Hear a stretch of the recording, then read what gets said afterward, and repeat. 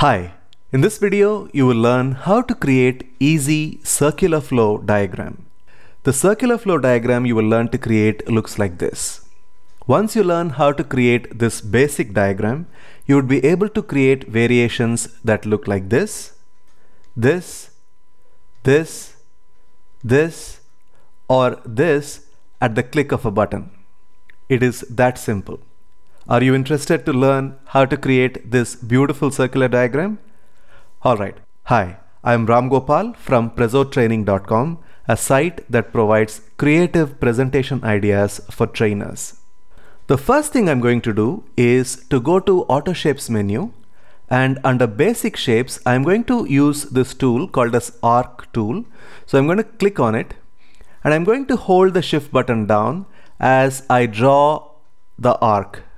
Holding the shift button down ensures that the arc is perfectly circular.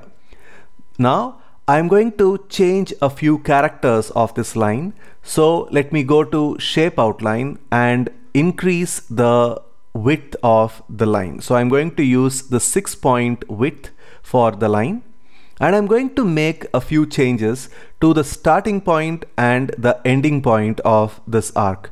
So I'm going to right click, go to format shape and here I find line option under fill. So I'm going to click on line and I can make the changes here. As you can see, there are quite a few options here and I'm going to use some of the options to make the variation. So the first thing I'm going to do is to change the begin arrow type.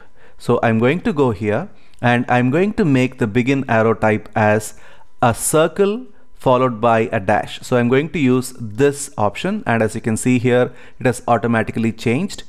And I'm going to say end arrow type to have uh, something like this one which is the regular arrowhead and now we have one segment of the circular process flow ready. I can always increase the size of the circle and the arrowhead by widening this line.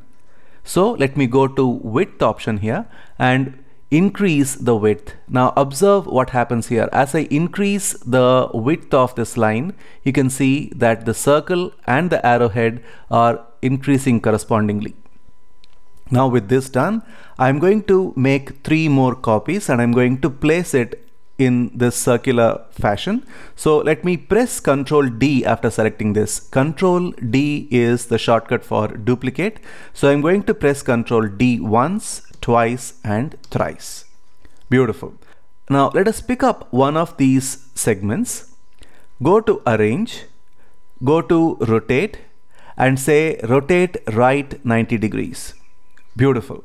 Now let us pick up another one and let me go to arrange, rotate and go to rotate right 90 degrees and once again rotate right 90 degrees. So what we have done is I have rotated it 180 degrees.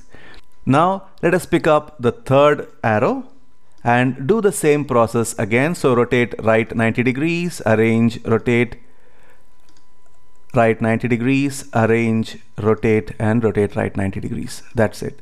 Now that we have all four segments of the circular process ready, it is time to select them all by clicking and dragging the cursor across all these shapes and go to arrange, align and say align center and then go to arrange, align and say align middle and now we have a beautiful circular process ready. You can always change the color of the line. Like say for this one maybe I can choose an orange color. And for this one I can choose a green color. And I can choose say a gray color for the next one. And I can leave the third fourth one in the same color. Or I can choose a different color maybe say like red or something.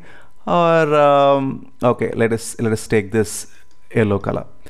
Now that we have got this basic circular flow diagram ready let me show you how to create the variations. Now the variations are all going to be done by changing some of the properties in the line option here. So let us select all the four segments here and let us go to the line option and the first thing I'm going to do is to change the dash type. So let me go to the dash type option and I can choose a different dash type. As you can see here, there is a different dash type that we have chosen and that has created a variation. Now let me change the dash type to something else like say this one called as round dot and you can see that the nature of the circular process flow diagram has changed. Now instead of having these as squares, if I want to have them as dots, I can do that too. I'm going to go to the join type and say, instead of meter, I'm going to say round and I'm going to change the cap type as instead of flat, round and now you can see that the lines are now in dots instead of squares. Now I can make changes to the line type as well. Let me show you how it is done. First let me go to the dash type and from the round dots let me change it back to straight line. Now we have gone back to the original way in which the diagram was created. Then let us go to compound type and let us change the line type to double line which gives this kind of an effect. If I change it to this one called as thin thick it comes out like this or if I want to do something like this which is a triple line it comes out like this. Isn't this beautiful? Now we can make change to the arrowhead and the starting point as well. Let me show you how to change the arrowhead. Let me go down here and say end arrow type. Instead of the current one here, I can choose to have something like this. Now I can see that the shape of the arrowhead has changed. And if I want to change the dot to diamond shape, I can go to begin arrow type and make the change to this one called as diamond arrow and that changes the starting type as well. So as you can see, once you learn how to create a basic circular flow diagram using the arc tool in basic shapes of AutoShapes menu, you would be able to come up with your own variations and make your circular flow diagram look the way you want. If you want to learn more such interesting PowerPoint techniques to make your training slides look attractive and interesting for your audience, I highly recommend you take a look at our PowerPoint Mastery Program. Ram Gopal's PowerPoint Mastery Program is arguably the most extensive and comprehensive PowerPoint training online, period.